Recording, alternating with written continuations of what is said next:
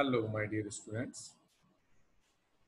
Today in labor law, first paper, we'll talk about the special provisions for layoff and retrenchment given under Industrial Disputes Act 1947.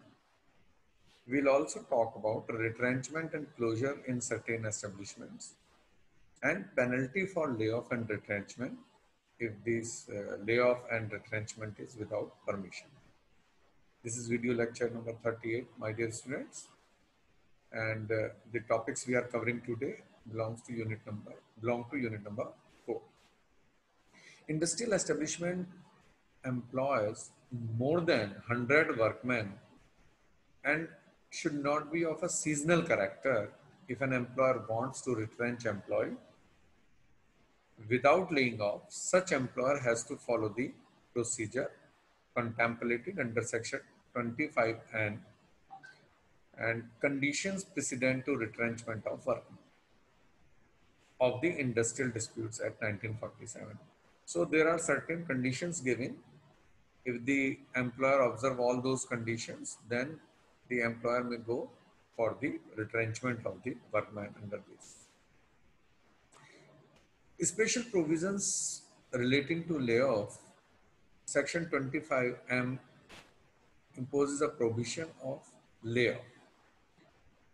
No workman other than a badli workman or a casual workman whose name is borne on the muster roll of an industrial establishment to which this chapter applies shall be laid off by his employer except with the prior permission of the appropriate government. So my dear students, if the employer wants to go for the retrenchment, then workman, the employer is uh, has to go for the permission from the appropriate government or such authority as may be specified by the government by notification in the official gazette. Further, here and after in this in this section referred uh, to as the specified authority obtained on an application made in this behalf unless such layoff is due to shortage of power or to natural calamity and in the case of a mine such layoff is due also to fire flood excess of inflammable gas or explosion.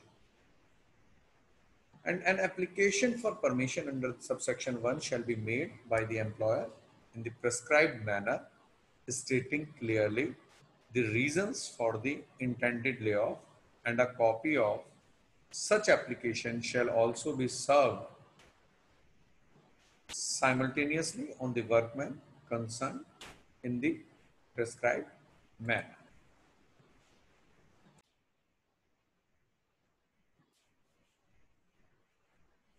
And an application for permission under subsection uh, 1 shall be made by the employer in the prescribed manner, stating clearly the reasons for the intended layoff and a copy of such application shall also be served simultaneously on the workman concerned in the prescribed manner.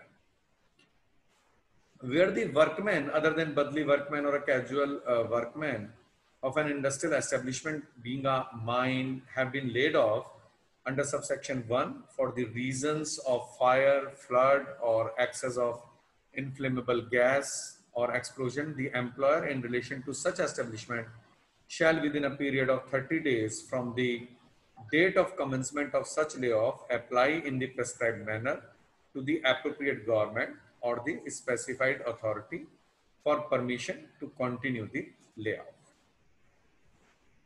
And where an application for permission under subsection 1 or subsection 3 has been made, the appropriate government or the specified authority, after making such inquiry as it thinks fit, and after giving a reasonable opportunity of being heard to the employer, the workman concerned, and the persons interested in such layoff may having a regard to the genuineness and adequacy of the reasons for such layoff, the interest of the workmen and all other relevant uh, factors by order and for reason to be recorded in writing grant or refuse to grant such permission and a copy of such order shall be communicated to the employer and the workman.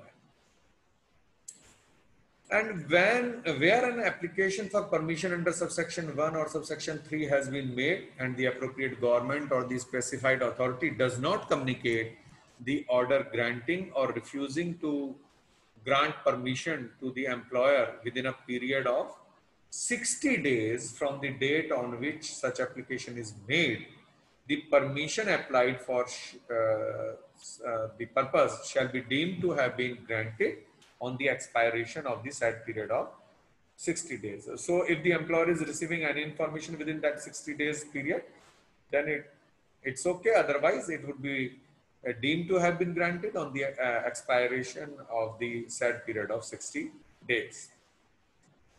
And further, an order of appropriate government or the specified authority granting or refusing to grant permission shall, subject to the provision of subsection 7, be final and binding on all the parties concerned and shall remain in force for one year from the date of such order. So, an order or an order of the appropriate government or the specified authority granting or refusing to grant permission and subject to the provisions of subsection 7 be final and binding to all the parties concerned and shall remain in force for one year from the date of such order. And in subsection 7, uh, the appropriate government or the specified authority may either on its own motion or on application made by the employer or any workman review its order granting or refusing to grant permission under subsection 4 or refer the matter or the case may be cause it to be referred to a tribunal or uh, for adjudication provided that where a reference has been made to a tribunal under subsection it shall pass an award within a period of 30 days from the date of such order. So, within the 30 days from the date of such, uh, I beg your pardon, from the such reference.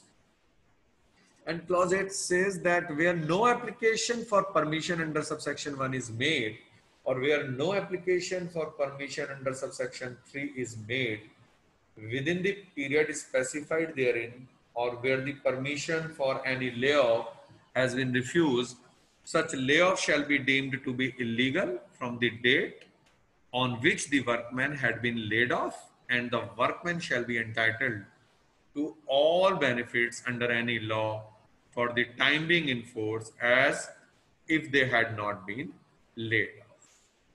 So permission is a must uh, under subsection 1, the permission is required.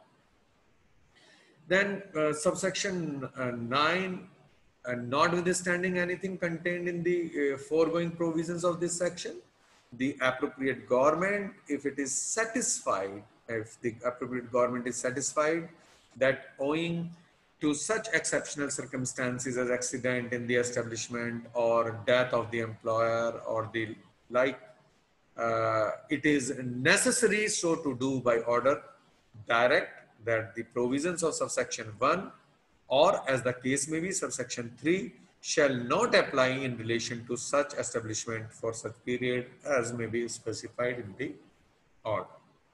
So this is subsection 9. Then the provisions of section 25C other than the second proviso there too shall to shall apply to case of layoff referred in this section. So my dear student, you can just check, uh, you can go through this uh, section 25 C and then you will comprehend uh, about the provision of this section 25C so please go through this section. And there are certain res reasonable restrictions also my dear students uh, and uh, in order to prevent the hardship to the employees and to maintain higher tempo of production and productivity. And section 25m of the industrial disputes act 1947 puts uh, some uh, reasonable restrictions on the employer, right to layoff, retrenchment, and closure. And Section 25M makes it clear that no workman whose name is borne on the muster rolls of his employer shall be laid off without previous permission of such authority as may be specified by the appropriate government unless such layoff is due to shortage of power or natural calamity or in case of a mine it is due to fire and flood. So this is a reasonable restriction imposed under the act and uh, uh, for uh, right to lay off retrenchment and closure. And further, my dear students, retrenchment and closure in certain establishment, if you talk, then uh, we see that uh, there are special provisions. The employer intending to do a closure of his establishment has to necessarily apply at least 90 days in advance. So my dear students, uh, once the employer is intending to do a closure of his establishment, he has to apply necessarily at least 90 days in advance to the appropriate government and the said application will be considered a reasonable opportunity uh, to be heard shall be given to the employer as well as uh, to the workman. So, uh, means the employer is intending to do uh, or intending to go for a closure of his establishment, he has to necessarily apply at least 90 days in advance to the appropriate government and this application will be considered and a reasonable opportunity to be heard shall be given to the employer as well as to the worker. And there was no provision of closure in these uh, steel disputes 1947. The law of closure was inserted in 1957 in the view of the Supreme Court uh, judgment in case of Hari Prasad Shiv Shankar Shukla versus A.D. Divelkar. And uh, subsequently, over the number of years, uh, this law has undergone a series of amendments from time to time and then finally consolidated in its final form in 1982. So earlier, uh, there were no provisions and uh, now uh, the this provision to the closure was introduced in 1957 and the recent form is of 1982 of that closure of the establishment. And the Act defines closure as the permanent closing down of a place of employment or part thereof. Here the employer is uh, constrained to close the establishment permanently. Nonetheless, uh, the uh, due process has to be complied with when it comes uh, to ruling out a plan of closure. And these procedures do not apply to an undertaking set up for the construction of building, bridges, roads, canals, dams, or for other construction, but these procedures do not apply. And if the employer is intending to do a closure of his establishment, he has to necessarily apply, as I told you, at least 90 days in advance to the appropriate government. And a copy of the said application has to be given to the representative of the workman as well and the said application will be considered and a reasonable opportunity to be heard uh, shall be given to the employer as well as to the workman as I have already discussed with you, my dear students. And after considering the same, my dear students, the appropriate government may or may not grant the employer to the close down. And even here, if the government does not respond within 60 days from application, then the permission will be deemed to have been granted and a similar provision for review of the decision exists even here.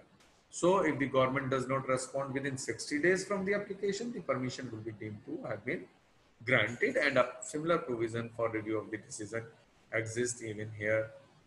Now, my dear students, we talk about the penalty uh, provisions for layoff and retrenchment if the employer is going for the layoff and retrenchment without prior permission. So what are those uh, uh, I uh, provisions for layoff and retrenchment?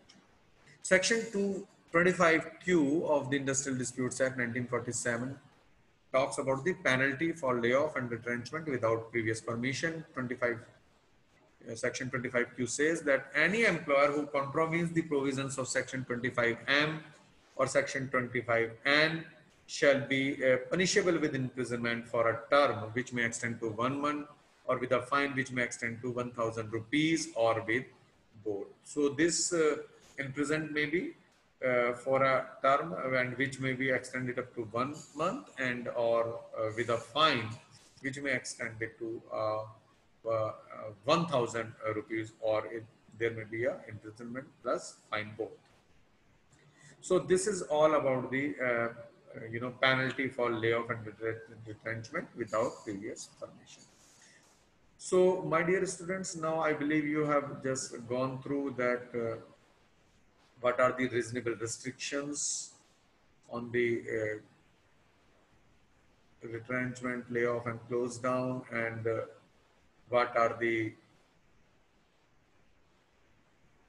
procedure for retrenchment and closure in certain establishment and penalty for layoff and retrenchment without permission. So I believe this will give you uh, uh, uh, means uh, this this has enlightened you and uh, it will help you.